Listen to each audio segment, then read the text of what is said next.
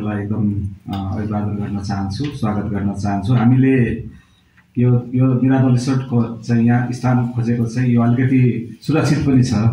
अनि त्यो लेखेको माझमा भन्नाले एकान्त ठाउँ पनि छ अनि यो स्तरीय पनि पर्यटन लेभलको हाम्रै साथीहरूको टिमले सञ्चालन गरेको अनि यो यहाँ कम्फर्टेबल हुन्छ सुरक्षित पनि छ भन्ने हिसाबले हामीले यसलाई छानेका हौँ। र हामी जतिजना तपाईँहरू आउनु आउनुभयो र हामीले यसरी यसरी ओरिएन्टेसन गर्दाखेरि एकदमै विनोद धेरै कुरा राखिसक्नु मैले धेरै कुरा अब भन्नुपर्ने छैन।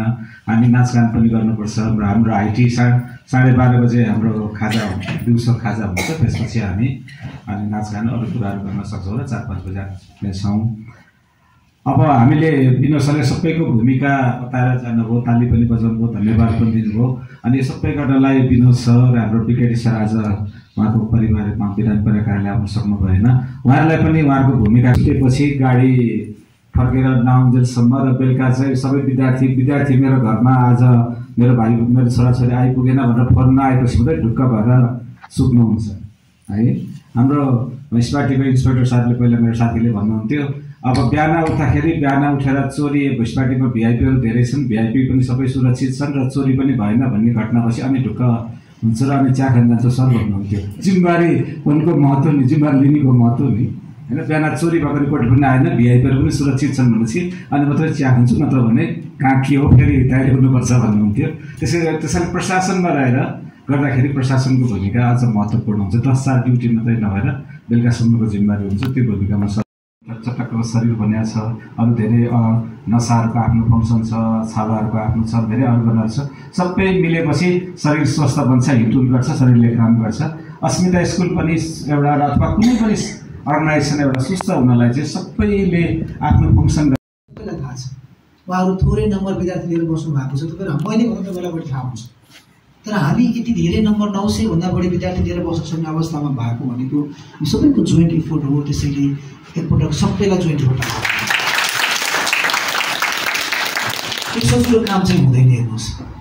यो हामी सजिलै गऱ्यौँ भनेर हामी बुझ्छौँ भने त्यो हामी गलत हुन्छ। र सबैको योगदान छ च्यालेन्ज छ त्यसैले म यसको श्रेय म मात्रै लिने अवस्थामा म छैन। कहिलेकाहीँ लाग्दो हो? मलाई पनि आउँदो हो कि? ओहो म स्कुलको प्रिन्सिपल स्कुल त राम्रो भएको छ अथवा यस्तो भएको छ।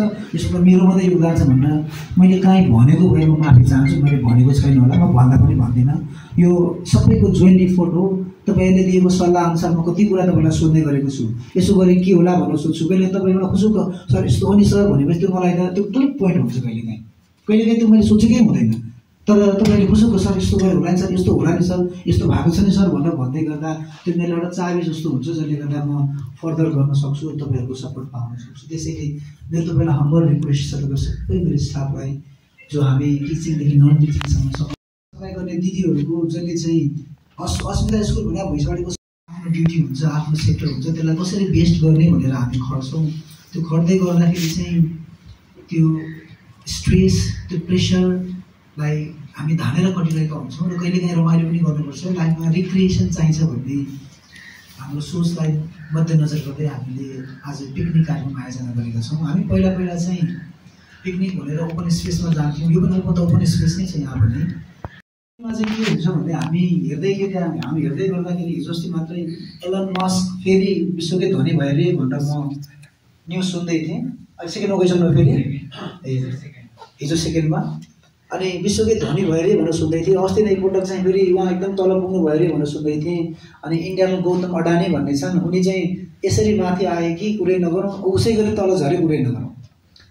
अनि हामी देख्न चाहिँ उहाँको मात्रै नाम देख्छौँ तर त्यसको पछाडि उहाँको त्यो टिम हुन्छ जो लगातार खट्छ त्यो टिमको मिहिनेत हामी देख्दैनौँ। हामी मलाई दिपक सरले भनिरहनुहुन्छ जहिले पनि एलए स्कुल लिटिल एन्जल्समा उमेश श्रेष्ठ भने चाहिँ एलए स्कुल त्यो चाहिँ अन्यन्याश्रित भन्छौँ हामी होइन सर? होइन त्यसलाई त्यो पर्यावाची सरी पर्यावाची भन्छौँ। एलए भने कि होइन उमेश श्रेष्ठ। उमेश श्रेष्ठ के भने एलए भन्छौँ। तर एलएमा गएर उमेश श्रेष्ठले कामै गरेर त रेकर्डै भयो होला। त्यहाँ काम गर्ने चाहिँ त्यहाँ एकजना लिम्बू म्याम हुनुहुन्छ जो खटेर काम गर्नुहुन्छ। उहाँको त्यो डेडिकेसनले नै एलए एलए भएको। हामी देख्न चाहिँ उमेश श्रेष्ठको फेस अनुहार देख्छौँ तर सबैको योगदान हुन्छ। हो अस्मिता स्कुल बन्नमा पनि हामी टिचिङ गर्ने आशा छ तपाईँहरूले इन्जोय गर्नुहुनेछ। मसँग चाहिँ आज विशेष भनेको चाहिँ यसरी सबैजना मिलेर बस्ने छलफल गर्ने माहौल मैले पाएको थिएँ। अस्पताल स्कुलमा आएको चाहिँ चौध वर्ष भयो मेरो। यो चौध वर्षको दौरानमा टिचिङ नन टिचिङ सँगै राखेर हामीले मिटिङ गर्ने अवसर जुरेका थिएन। किनकि हामी स्टाफ पिकनिक सर मिटिङ हुँदा गर्थ्यौँ। टिचिङ स्टाफ मात्रै हुन्थ्यो गर्दाखेरि। टिचिङ स्टाफ मात्रै हुन्थ्यो। कहिलेकाहीँ नन टिचिङ मात्रै हुन्थ्यौँ। अनि कहिलेकाहीँ हामी भेहिकल स्टाफ मात्रै हुन्थ्यौँ भने आज चाहिँ हामी सबै स्टाफ जो स्वास्थ्यको प्रतिकूलताले गर्दा जो आउनु पाउनु भएन